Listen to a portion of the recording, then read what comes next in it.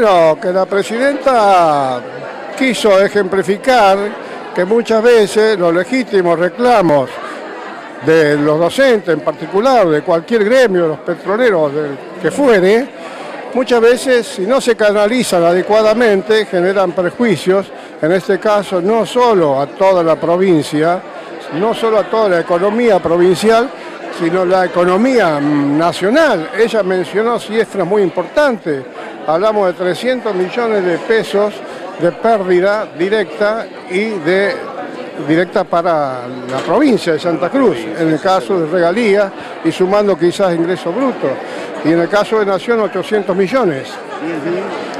Además de todo lo que no se puede mensurar, que son la mano de obra indirecta y toda la economía regional y exactamente. O sea que la, idea sería que los, los, reclamos gremiales siempre van a ser legítimos, porque la función de un sindicato es lograr mejores condiciones laborales y mejores salarios.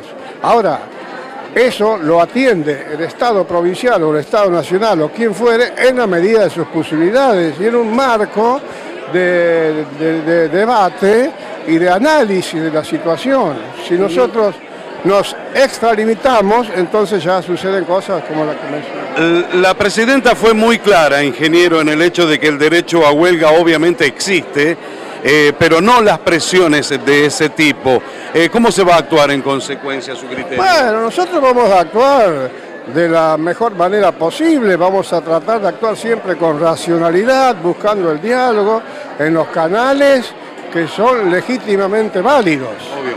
Porque, y la idea nuestra es lograr que la educación en Santa Cruz, que es el futuro de Santa Cruz, tenga la mejor calidad posible y para eso tenemos que trabajar en, muchos, en, muchos, muchas cuestiones.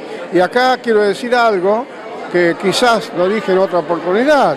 Si hay problema en educación no es responsabilidad de los docentes únicamente, es responsabilidad del gobierno provincial en este de caso. todo el conjunto. Claro, de todo el conjunto, o sea que hay que tratar de integrar acuerdos, hay que tratar de integrar decisiones adecuadas para que se tomen medidas que encaucen este proceso para bien de todos. Y ya me despido porque la señora rectora veo que está a punto de subir a la mesa.